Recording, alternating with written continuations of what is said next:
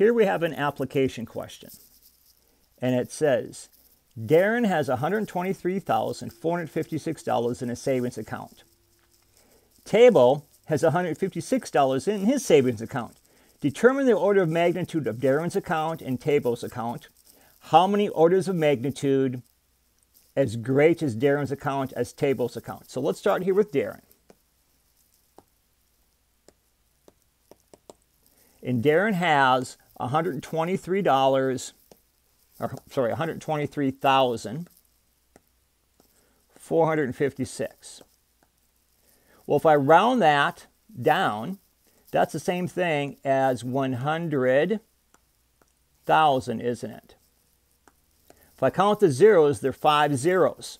So Darren's order of magnitude is 10 to the fifth or 5.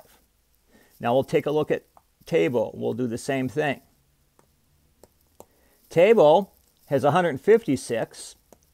I'm just going to round that down to the nearest hundred. So I'm going to say that's the same thing as 100. There are two zeros.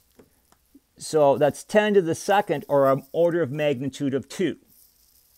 Now to find out how many orders of magnitude uh, Darren is Darren's account as Table's account, I'm going to divide. I'm going to say, oh, to find the difference, not difference, the order of magnitude is greater, I'm going to take 10 to the fifth, I'm going to divide it by 10 to the second.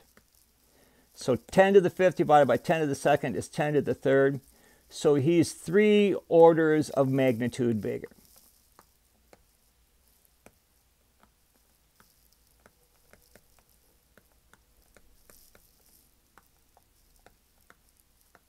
And that's what you would do for a problem like that.